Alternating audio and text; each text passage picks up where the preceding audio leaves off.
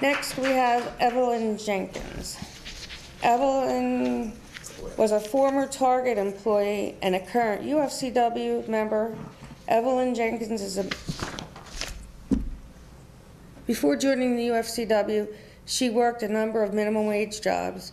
As the mother of three children, paying for the basic necessities was a struggle, let alone trying to celebrate the holidays. Evelyn, can you tell us your story? Sure. Hello, my name is Evelyn Jenkins. I live in the Frankford section of Philadelphia, and I'm a mother of three. Um, I would like to talk today about how important it is to raise the minimum wage.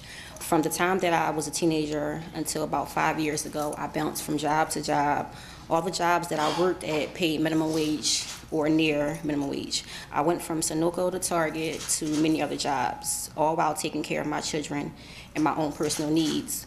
It made things very difficult to raise my children and give them a good life. I had to rely on others, including my mother, to help me with simple things, far as food and clothing.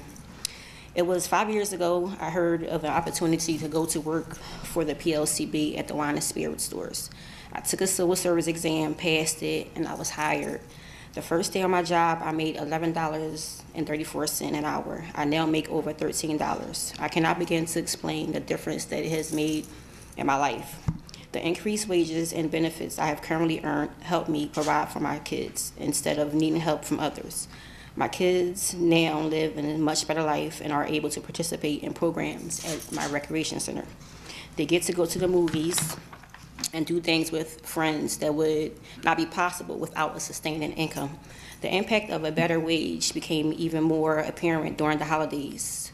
One of my daughters, uh, which is 13, she will be easily able to tell that you uh, tell you that the last five years have been much better than the previous five. My kids don't get everything they want, obviously, but my wage at the PLC, PLCB has definitely made Christmas much more memorable for them. I would like to thank Senator Hughes and Tina Tartaglione for thinking, for taking the lead in trying to raise the minimum wage. I know that people will benefit from an increase in wages. They will shop in their local communities and take care of their kids and not have to worry about how they'll get by from day to day. Thank you. Thank you, Evelyn.